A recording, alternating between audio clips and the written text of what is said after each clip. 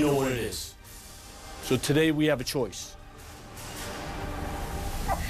We can choose to be grateful.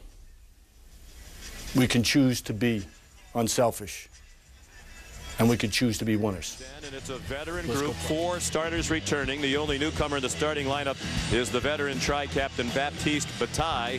And Matt Janning is Conversely, their Northeastern sound D.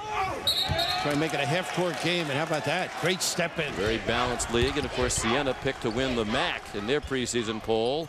Shut out for nearly three and a half minutes. Now Northeastern has the lead and the ball back after Rossiter couldn't control it underneath. Nothing there. What do I Bonaparte of know? Minnesota's only other D1 scholarship offer was from Montana State.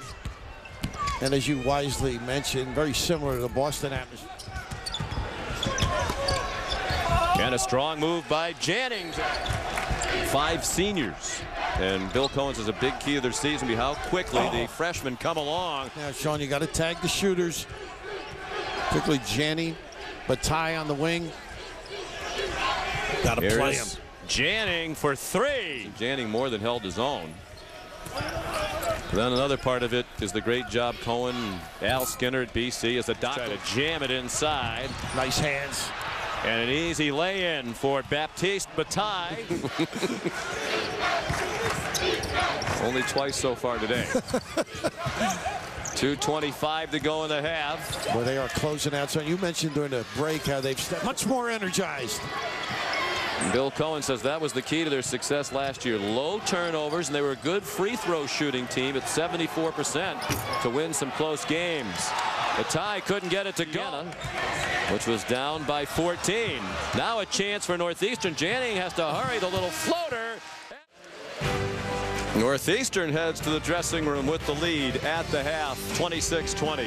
Now Ryan Bird, Doug Gottlieb, and Jay Williams in the studio. The UPS halftime game nearing the midpoint of the second half. He'd be very happy with that. Uh, Not after the great start, but even there, you see where Janny caught the ball, so it was out of his range. Nice pass, Lima. Into I didn't get quite that far this morning. I got to 1208.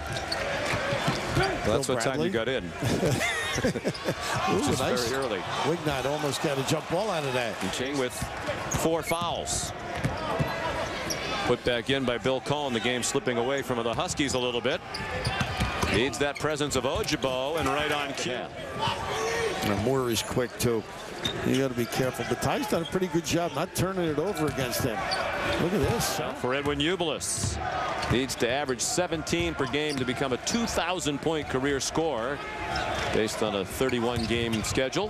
Look at that D by Rossiter. is healthy for a marriage though.